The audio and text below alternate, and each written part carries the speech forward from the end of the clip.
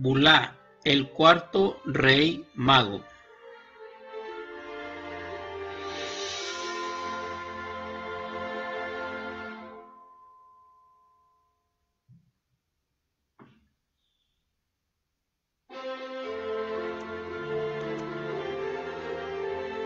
Hace muchos años, un gran señor llamado Bulá reconoció en el cielo signos nunca vistos. Anunciaban la llegada del más grande de los reyes que el mundo hubiera conocido. Asombrado por tanto poder, el rico señor decidió salir en su búsqueda con la intención de ponerse al servicio de aquel poderoso rey y así ganar un puesto de importancia en el futuro imperio.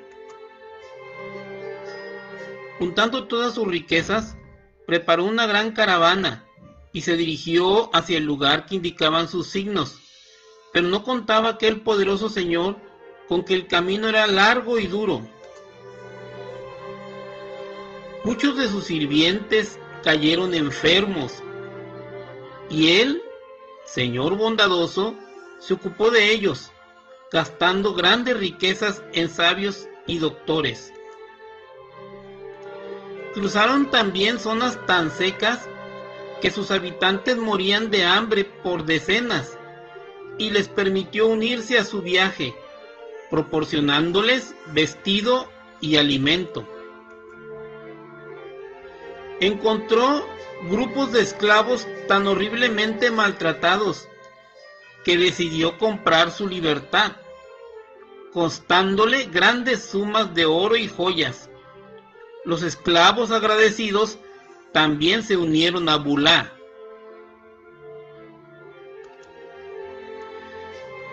Tan largo fue el viaje y tantos los que terminaron formando aquella caravana, que cuando por fin llegaron a su destino, apenas guardaba ya algunas joyas, una pequeñísima parte de las que inicialmente había reservado como regalo para el gran rey.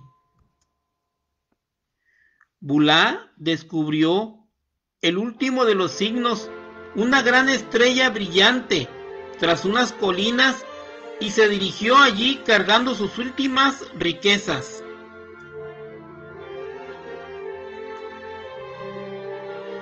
Camino hacia el palacio del gran rey se cruzó con muchos caminantes, pero al contrario de lo que esperaba, pocos eran gente noble y poderosa.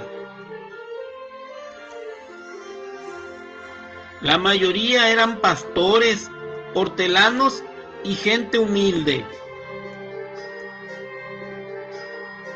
Viendo sus pies descalzos y pensando que de que de poco servirían sus escasas riquezas a un rey tan poderoso, terminó por repartir entre aquellas gentes las últimas joyas que había guardado. Definitivamente sus planes se habían torcido del todo. Ya no podría siquiera pedir un puesto en el nuevo reino y pensó en dar media vuelta pero había pasado por tantas dificultades para llegar hasta allí que no quiso marcharse sin conocer al nuevo rey del mundo. Así continuó andando, solo para comprobar que tras una curva el camino terminaba. No había rastro de palacios, soldados o caballos.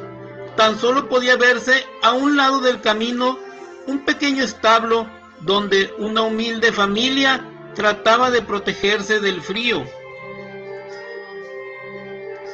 Bulá, desanimado por haber perdido de nuevo, se acercó al establo con la intención de preguntar a aquellas gentes si conocían la ruta hacia el, palacio del nuevo rey. Traigo un mensaje para él, explicó mostrando un pergamino. Me gustaría ponerme a su servicio y tener un puesto importante en su reino. Todos sonrieron al oír aquello, especialmente un bebé recién nacido que reposaba en un pesebre. La mujer dijo, extendiendo la mano y tomando el mensaje, deme el mensaje, yo lo conozco y se lo daré en persona. Y acto seguido se lo dio al niño, que entre las risas de todos lo aplastó con sus manitas y se lo llevó a la boca, dejándolo inservible. Bulá no sonrió ante aquella broma, destrozado al ver que apenas tenía ya nada de cuanto un día llegó a poseer, cayó al suelo. Llorando amargamente, mientras lloraba, la mano del bebé tocó su pelo. El hombre levantó la cabeza y miró al niño. Estaba tranquilo y sonriente. Y era en verdad un bebé tan precioso y alegre que pronto olvidó sus penas y comenzó a juguetear con él. Allí permaneció casi toda la noche el noble señor, acompañando a aquella humilde familia, contándoles las aventuras y peripecias de su viaje y compartiendo con ellos lo poco que le quedaba. Cuando ya amanecía, se dispuso a marchar, saludando a todos y besando al niño.